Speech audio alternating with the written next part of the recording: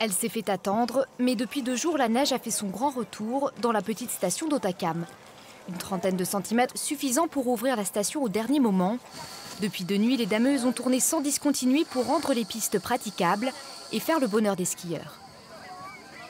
Nous qui habitons ici, on n'attendait que ça. Le soleil est là, la neige est là, super, au top. Et la neige, elle est comment? Bah, Elle est bonne, elle est très bien. Ouais, ouais. Voilà, elle est fraîche, euh, c'est tout récent, donc c'est très bien. Merci. Bon voyage. Les skieurs étaient au rendez-vous ce week-end. Randonnée, parapente, sport de glisse pour les plus aguerris et ceux qui le sont moins. Pourtant, ouvrir la station était inespéré. On avait surtout peur de faire une saison sans ouverture. Je pense que c'est important et pour l'économie locale et pour également nos équipes, hein, puisqu'elles sont en activité partielle. C'est un système de chômage technique depuis euh, le 8 janvier. En fait, c'est un report d'ouverture.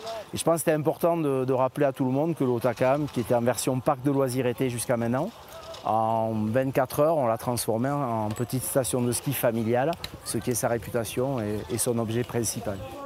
Cathy Gamel est salariée de la station depuis 22 ans. Une ouverture si tardive dans la saison, pour elle, c'est du jamais vu. Vous avez profité de la journée euh, et de la bonne, c'est ça? Ça nous est arrivé de ne pas faire les vacances de Noël. Euh, c'est vrai, c'est une année, on fait, on fait 4 jours, 5 jours, une semaine. Les 15 jours, c'est compliqué depuis ces 10 dernières années. Mais là, euh, de ne pas du tout faire les vacances de Noël, non, je n'ai jamais vu. Ça vous rend triste? Oui, beaucoup. Si les températures le permettent, Otakam pourrait de nouveau ouvrir le week-end prochain.